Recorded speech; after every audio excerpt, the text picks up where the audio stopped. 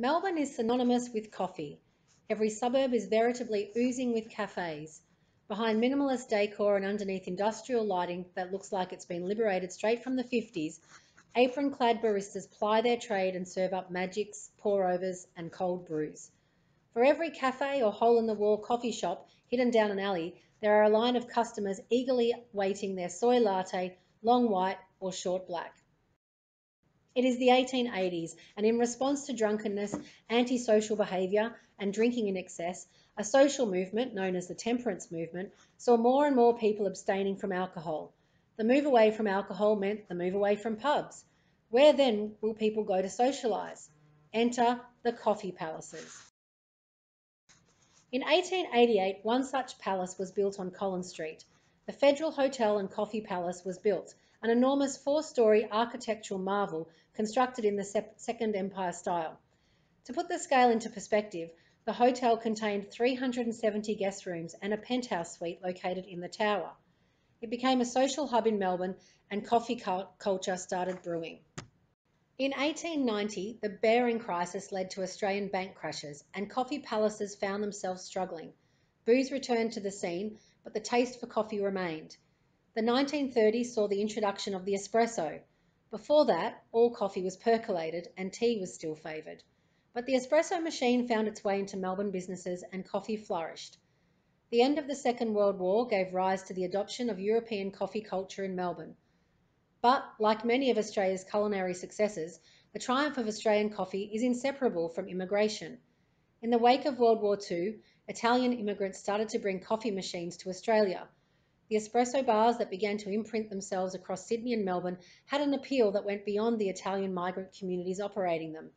With their new decorating styles, they attracted an aspiring social set of Australian bohemians who were joined by teenagers, bored of the old style milk bars and steak pubs.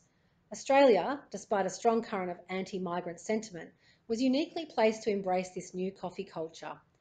By the 1960s, a small mix of bohemians, teenagers and migrants were gathering around coffee spots.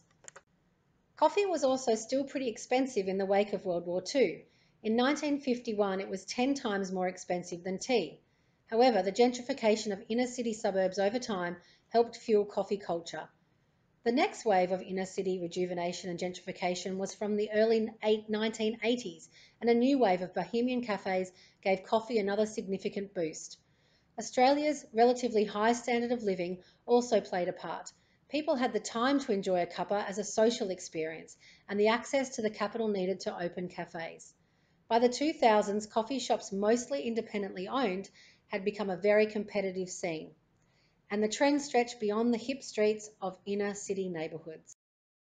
So just how much do Melburnians love their coffee?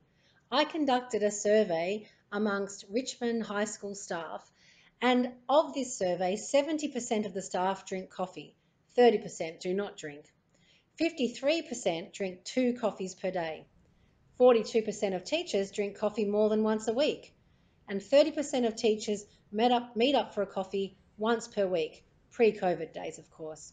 From this survey, the top two favourite coffees were flat white and cappuccino. This actually is quite different to a national survey where it said that Victoria's favourite coffee was a latte. Quite controversial, Richmond High staff. Responsible drinking.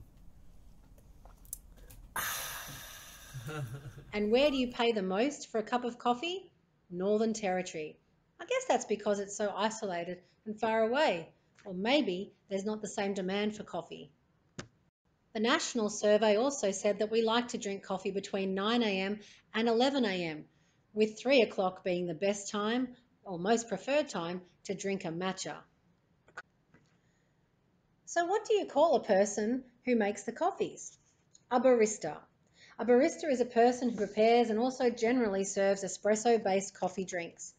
Generally, baristas working in coffee houses, coffee shops or coffee bars operate commercial espresso machines rather than home espresso machines. Beyond making espresso, baristas also generally foam, froth and steam milk to make a wide range of espresso-based drinks and prepare coffee drinks such as French press coffee, pour-over coffee, and drip coffee. The World Barista Championship, also known as WBC, is a competition that is held on an annual basis and that is organised by World Coffee Events to determine who is the best barista in the world that year. This barista competition was introduced in Norway and its first event took place at Monte Carlo in 2000. It was held in Europe and America until 2007 when it was hosted in Tokyo. To decide who will be the world's best barista, there are three judging stages held over two days. In every round, the participants will perform a 15 minute drill in which they have to serve a total of 12 beverages to each of the four judges. They have to serve four espressos, four milk based beverages, and four original signature drinks. There are two types of judges, sensory and technical. Melbourne won in 2013 with barista Pete Licata. This is Tom, and he runs my local coffee bar with his brother and father. It is called Bin 3. On a busy day, my local barista Tom makes 330 to 350 coffees.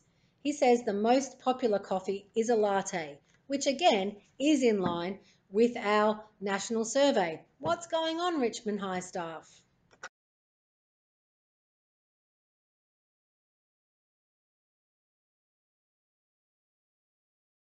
I think the one thing that my survey of Richmond High staff did show is that they were all 100% correct when they said Melbourne is the best place to buy and drink or even go for a coffee.